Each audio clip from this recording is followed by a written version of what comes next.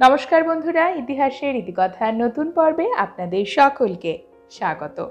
বন্ধুরা, আজকের পর্বে থাকবে চৈত্র মাসের প্রত্যেক বৃহস্পতিবারের মা লক্ষ্মী পুজোর ব্রতকথা পাঁচালি আকারে, তিল ফুলের পালা।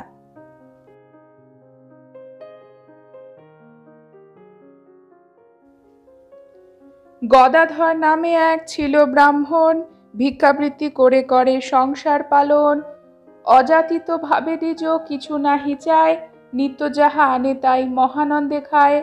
সততা দেখিয়া রাজা ডাকিল তাহারে, জমি কিছু দান করে সেই ব্রাহ্মণেরে। রাজার দানেতে দ্বিজ আনন্দিত হইল, সে জমিতে দ্বিজ বর তিল বুনে দিল। তিল হতে তিল গাছ ক্রমে বাহিরিল, পরে ফুলে ফুলে গাছ ভরিয়া উঠিল।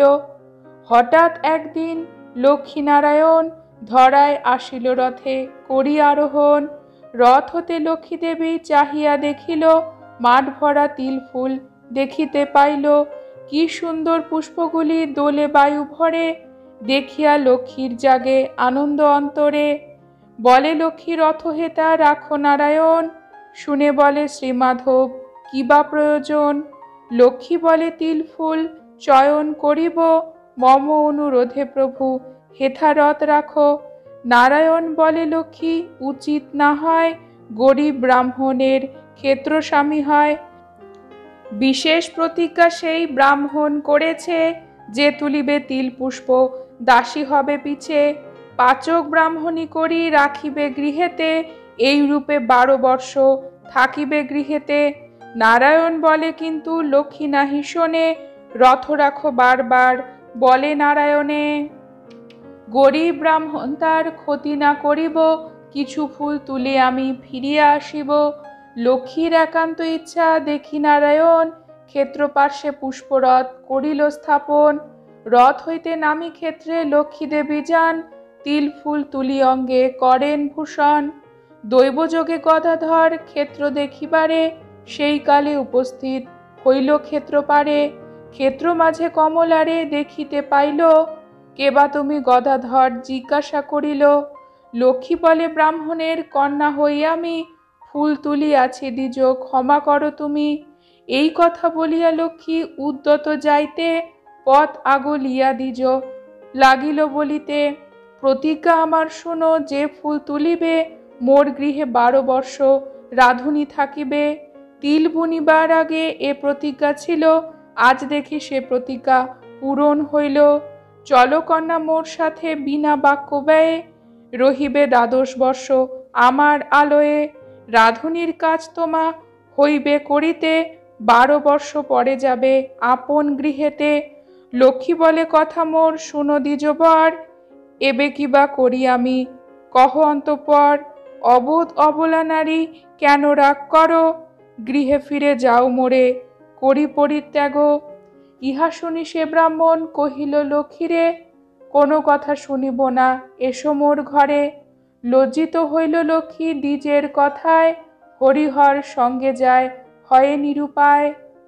তাহা দেখি দুঃখিত হইল নারায়ণ, রথ লয়ে করিলেন বৈকুণ্ঠে গমন। হেথা লক্ষ্মী দেবী থাকে গদাধর ঘরে, তাহার দুঃখের দশা নাসিবার তরে। লক্ষ্মী এলো ঘরে দ্বিজ, অতি সুখে রয়। সহস্তে রাধিয়া লক্ষ্মী সবাকারে দেয়। মা লক্ষ্মীরে গদাধর, অতি যত্ন করে। ব্রাহ্মণী সর্বদা সেবা করে কমলারে। সুখে থাকে হরিহর লক্ষ্মীর কৃপায়। ধনুশ্বর্যে গৃহ তার পরিপূর্ণ হয়। নিজ খাদ্য লয়ে লক্ষ্মী যায় বাগানেতে। ডালিম বৃক্ষের তলে, পোতেন মাটিতে। লক্ষ্মী স্পর্শে হয় তাহা, মণিমুখ তাহিরে, বহুমূল্য রত্নসব জন্মে ধীরে ধীরে। এই রূপে রোজ খাদ্য রাখেন বাগানে, সে সকল কথা কিন্তু কেহ নাহি জানে। দ্বাদশ বৎসর এবে গত হয়ে যায়, দশহরা গঙ্গা স্নান হইল উদয়। পুণ্যময় দিন অতি দেখিয়া ব্রাহ্মণ গঙ্গা স্নানে যাবে বলি করিল মনন। লক্ষ্মীরে তখন ডাকি ব্রাহ্মণী বলিল, আজ দশহরা সবে, গঙ্গা স্নানে চলো। ছল করি লক্ষ্মী দেবী, বলে ব্রাহ্মণী রে, সকলেই যাও গঙ্গা স্নান করিবারে। আমি যাহা দিই তাহা ধরো যতনেতে, লয়ে ইহা দিও সবে গঙ্গার পূজাতে। পাঁচ করা করি লক্ষ্মী ব্রাহ্মণীরে দিল, ব্রাহ্মণী লইয়া তাহা আচলে বাঁধিল। ব্রাহ্মণী সবারে লয়ে করিল গমন সকলেই মা গঙ্গার করিল পূজন। লক্ষ্মী কথা ব্রাহ্মণীর মনে পড়ে গেল, করি দিয়া কি কিনিবে ভাবিতে লাগিল। পাঁচ করি দিয়া কিছু পাওয়া নাহি যায়, অগত্যা ব্রাহ্মণী তাহা জলে ছুড়ে দেয়। নিজ মূর্তি ধরি গঙ্গা জলেতে ভাসিল, সেই পাঁচ করা গঙ্গা নিজ হস্তে নিল। ব্রাহ্মণ ব্রাহ্মণী দেখি হইল বিস্ময় মনেতে বুঝিল কন্যা, সামান্য তো নয়। লক্ষ্মী দেবী সুনিশ্চয় এসেছেন ঘরে, তাহাদের দুঃখ দূর করিবার তরে। বধূগণে ডাকে বলে, ব্রাহ্মণ, ব্রাহ্মণী, শীঘ্র চলো গৃহে ফিরে যাইব এখনি। দেবনারায়ণ মনে বুঝিতে পারিল, লক্ষ্মীর দ্বাদশ বর্ষ এবে পূর্ণ হইল। পুষ্পরথ লয়ে তরা দেবনারায়ণ গদাধর গৃহে আসি, দিল দর্শন।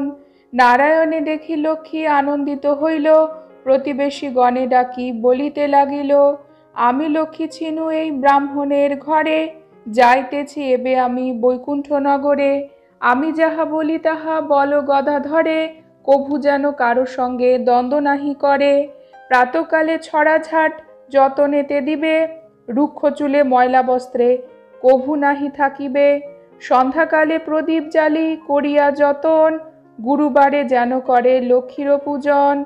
ব্রাহ্মণের দুঃখ কষ্ট সবে দূরে যাবে ধনৈশ্বর্যে গৃহতার পরিপূর্ণ হবে। অন্তপর যাহা বলি শুনো দিয়া মন, ডালিম তলায় পোতা আছে বহু ধন। ব্রাহ্মণের সেই ধন লইতে বলিবে, রাজতুল্য তার ফলে গধাধর হবে। শুদ্ধভাবে লক্ষ্মীঘট করিয়া স্থাপন গুরুবারে সন্ধ্যাকালে করিবে পূজন। অন্তঃপর লক্ষ্মীমাতা প্রস্থান করিল, গদাধর গৃহে আসি দেখিতে না পেল। দ্বিজকেদে বলে, কোথা লক্ষ্মী ঠাকুরানী? একবার এসো দেখি, চরণ দুখানি। এসো মাগো লক্ষ্মী বলি, কাঁদিছে সকলে, ভাগ্যদোষে হারালাম, গদাধর বলে। ক্রন্দনের ধ্বনি শুনি প্রতিবেশীগণ, গদাধর গৃহে সব আসিল তখন। সবে বলে হে ব্রাহ্মণ কে কেদে কিবা ফল? লক্ষ্মী যাহা বলিতেছে, শুনহ সকল। রুক্ষ চুলে ময়লা বস্ত্রে কহু না থাকিবে। গৃহ মধ্যে লক্ষ্মী ঘট স্থাপন করিবে। প্রতি গুরুবারে সবে লক্ষ্মীরে পুজিবে, তার ফলে তোমাদের দুঃখ দূর হবে। আরও যাহা বলিছেন শুনো হে ব্রাহ্মণ, ডালিম তলায় পোতা আছে বহু ধন। সেই ধন তুমি দিজ তুলিয়া আনিবে রাজার সমান তুমি মহাধনী হবে। শুনি তাহা গদাধর, দ্রুতগতি যায়। নানা রত্ন পায় দ্বিজ ডালিমুতলায়। লক্ষ্মীরে স্মরণ করি তখন ব্রাহ্মণী।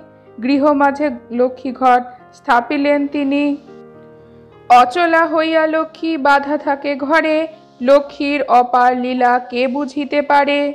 দুঃখী গদাধর দ্বিজ রাজা সমহায়, মৃত্যু অন্তে বৈকুণ্ঠেতে গমন করয়। লক্ষ্মী পূজা চৈত্র মাসে যে জন করিবে, তার গৃহ ধনৈশ্বর্যে পরিপূর্ণ হবে। চৈত্র মাস ব্রত কথা হলো সমাপন। ভক্তি ভরে ডাকো সবে লক্ষ্মীনারায়ণ শ্রীশঙ্কর স্তবস্তুতি কিছু নাহি জানে।